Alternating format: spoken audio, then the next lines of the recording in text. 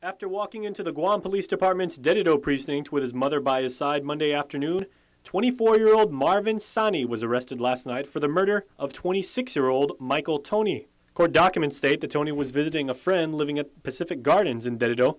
Just after 8 p.m. Sunday, Tony was on the second floor balcony at the facility when he got into an argument with a man downstairs near the entrance of the apartment. Tony evidently went downstairs and returned back to the apartment. Moments later, Sani allegedly burst into the building and began fighting and stabbing the victim. Just before midnight, the victim died at GMH as a result of multiple stab wounds. Although Sani fled the scene, through interviews with witnesses, it was learned that the suspect lived in the same apartment complex. When he turned himself in, police interviewed Sani's mother, who indicated that her son had confessed to her that he had killed the victim.